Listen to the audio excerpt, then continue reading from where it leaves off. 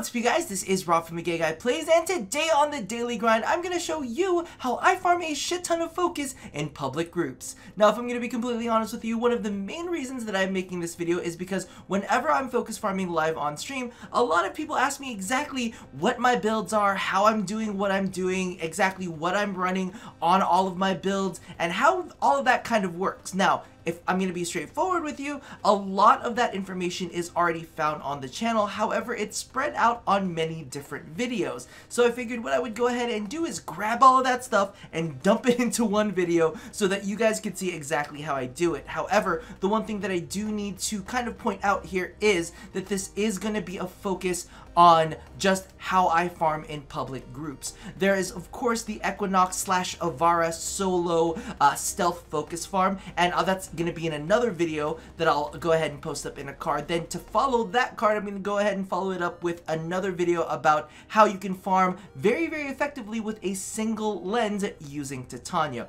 Regardless, without ado, let's go ahead and jump into the facts and figures so that you guys can figure out exactly how it's done. Now, before we jump into loadouts, let's go ahead and cover some of the basic mechanics when it comes to focus farming, starting with affinity gain. Now this one is super important mainly because of the fact that affinity gain directly correlates with how much focus your Warframe is going to get per kill. So all you really need to remember is three different percentages. 100%, 50%, and 25%. 100% is the amount of affinity your Warframe gains whenever they make a kill with a Warframe ability. So if you think about it in this case, if we're using Frost and he kills an enemy using Avalanche, 100% of that affinity is going to go to the Warframe. Next up is 50%. This is how much affinity your Warframe gains whenever they make a kill with a weapon. So let's pretend Frost is using a melee weapon and he kills an enemy with that melee weapon. Well, 50% of that affinity goes to Frost, and 50% of that affinity goes to the weapon that made the kill, in this case, his melee weapon. The last percentage is 25%. Now this is what is considered the general affinity gain percentage. Um, so in this case, if we're taking a look at it, this is how much affinity you would gain whenever an ally within your affinity range makes a kill. So your ally makes a kill, 25% goes to the Warframe, and the remainder goes to the weapons that you have equipped on the Warframe. It doesn't matter if it's the one that you're wielding primarily, it just matters that those weapons are equipped. So let's pretend Frost has a full loadout. So Frost would get um, 25%, uh, his primary would get another 25%, his secondary would get 25%, and his melee would get 25%. However, let's pretend Frost is only wielding a melee weapon, does not have a primary equipped, does not have a secondary equipped. All right, Frost gets 25% of the affinity, and then his melee weapon, since it's the only weapon he has equipped, gets 75% of the cut. So as you can see here, there are different percentages kind of floating around when it comes to um, how much affinity you're gaining, and it does kind of matter exactly where you're putting your lenses. So without ado, let's go ahead and jump into that next part and take a look at lenses. Alrighty, now majority of you guys are gonna have to bear with me here, mainly because of the fact that we might have some newer players that don't quite know how to do this. However, if you didn't already know, once your Warframe or weapon hits rank 30, you can actually go ahead and hit the Actions key and place a new lens on there. Now, as you can see right here, I already have a lens currently placed on this Warframe, and it says Replace Lens. I'm going to go and click on it just so that we can take a look at the menu that follows,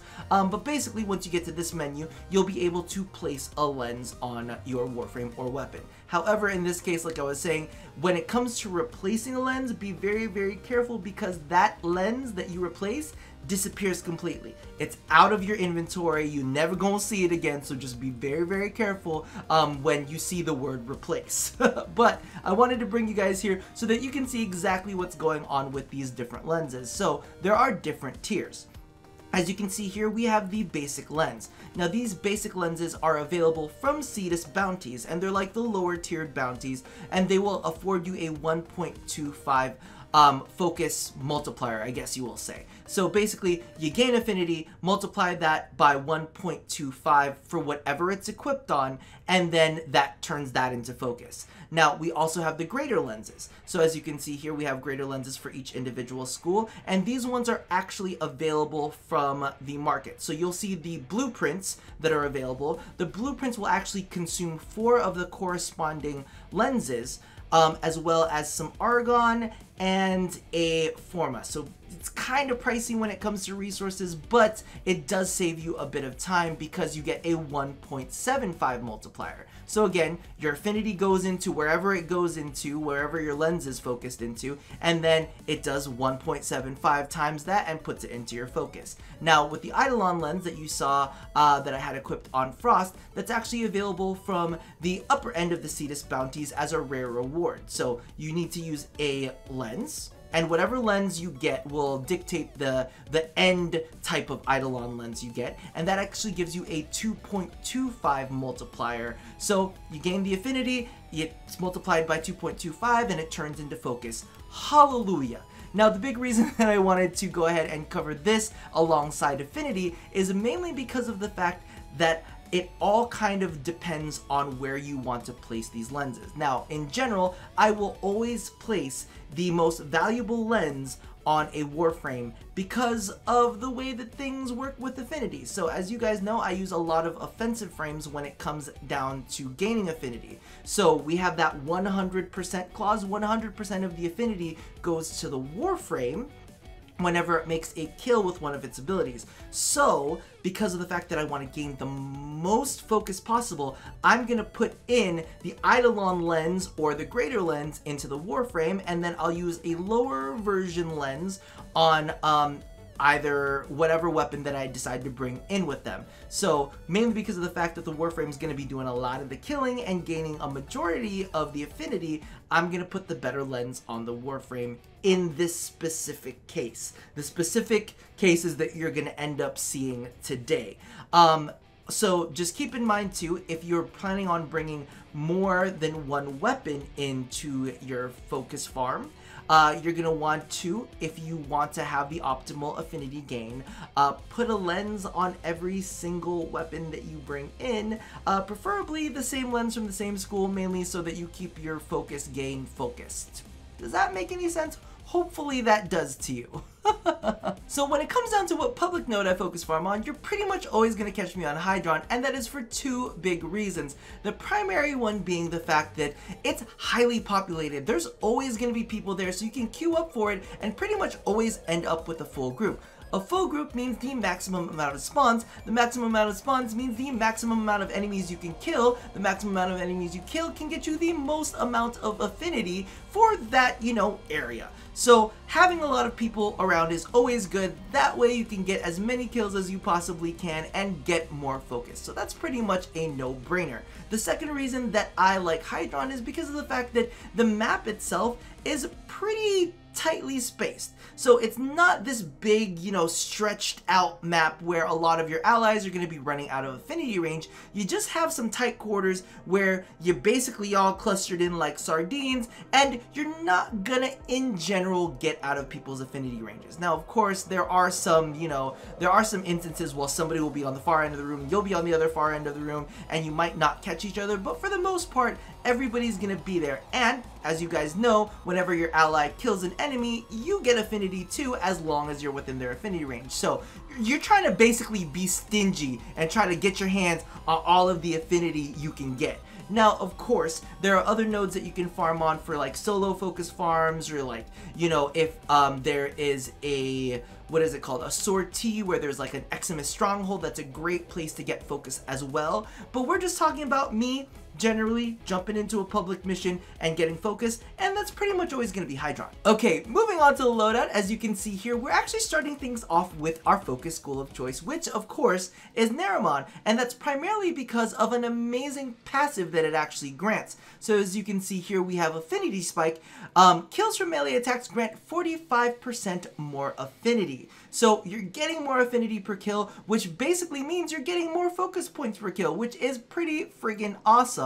Now, of course, that ties in to our actual loadout itself. Now, as we were talking about a little bit earlier, kills from allies actually grant you 25% affinity for the Warframe, and then spreads the rest amongst the other weapons that you have equipped. And as you can see here, we don't have a primary equipped, we don't have a secondary equipped, but we do have a melee weapon equipped. So whenever your ally kills an enemy, 25% is going to go into your Frost, and then, um, or your Warframe of choice, not necessarily specifically Frost, and then 75% of that affinity is going to go into your melee weapon. So now we've focused all of that focus gain into one melee weapon, and that weapon also happens to get 45% more affinity whenever it kills an enemy. So you, are doing double duty here. You're focusing down all of that into one weapon instead of spreading it out uh, across multiple weapons and requiring you to use more lenses.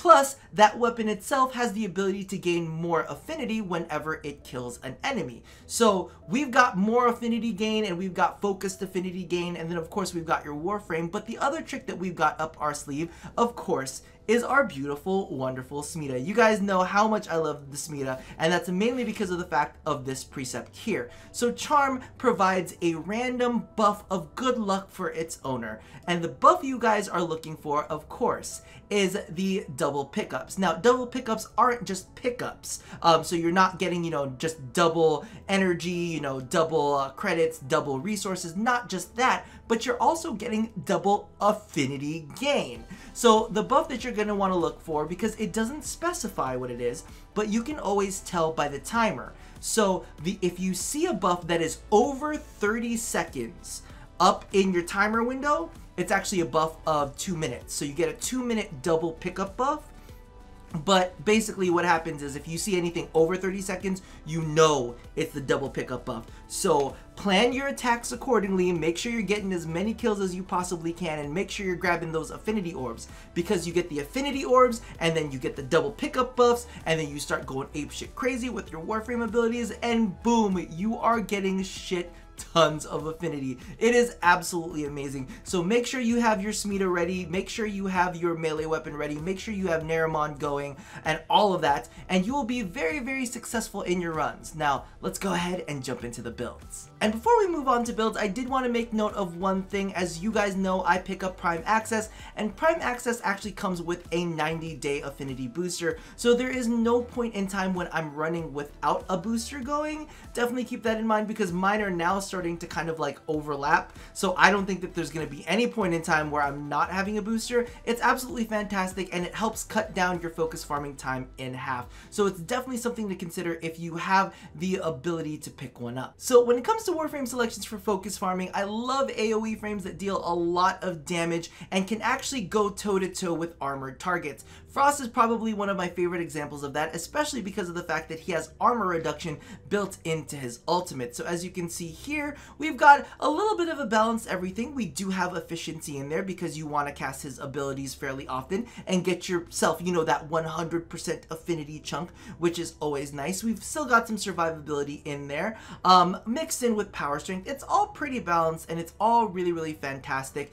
Um, now, if I'm going to be confessing things and being 100% honest with you, once you get to some of the higher ranking waves, so let's say you get to about like uh, um, wave 20, right? You're gonna stick it through past wave 20.